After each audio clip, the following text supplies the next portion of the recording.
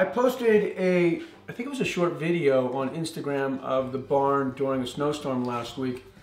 And Jay Bates asked, how do I heat the barn? And that's a question that I get from time to time.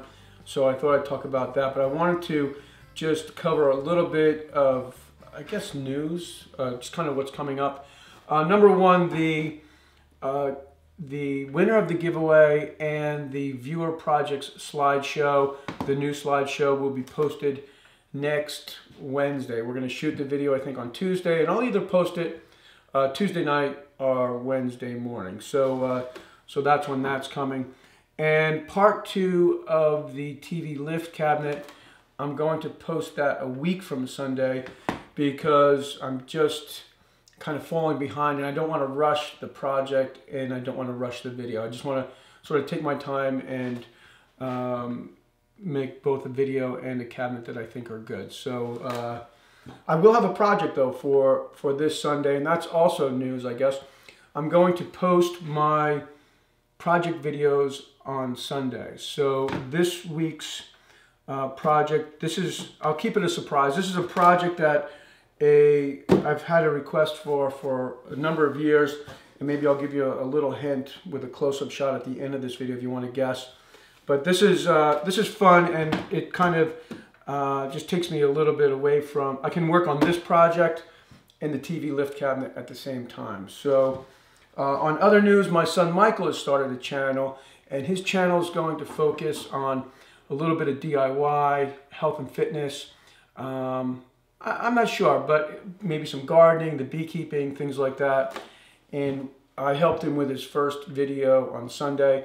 And if you want to see that, I'll put a link on the screen right here. We had a lot of fun. He's uh, he's a funny kid. Uh, so anyway, um, so that's what's going on. Now, as far as heating the barn, the downstairs of the barn is heated with an eight foot long oil-filled electric baseboard hooked up to 220 and it really does a nice job. And for the most part I keep the heater on low. And because I'm working and I dress warm I'm comfortable. If I'm doing work where I'm not moving as much or if it's really cold out I will pump it up a little bit. But uh, for the most part I can just keep it on low. The barn is insulated really well. I rebuilt this barn when Laurel and I first bought the house my wife Laurel. And um, it was the, the barn was falling down. There was basically two and a half walls. We jacked up the barn, put a new foundation under this wall and the east wall, and the whole upstairs is, is pretty much new. And when I did that, I insulated everything, and so it's pretty good.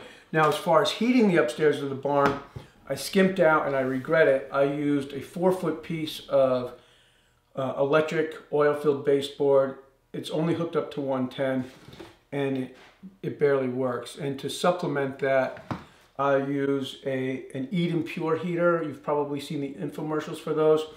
And between the two of them, it works pretty good, but um, but not that great. And when I know that I'm going to be working uh, in the upstairs of the barn, I'll get up real early and turn the heat up full blast, both heaters, and by the time I get out there, uh, it's, it's usually warm enough. So anyway, that's what's going on. I hope that you tune in on Sunday to see this project, and I'll see you then.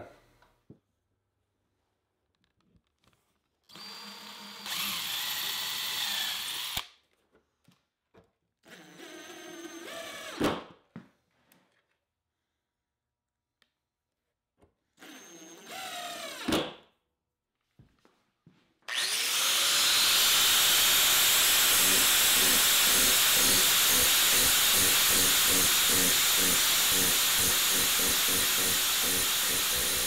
you.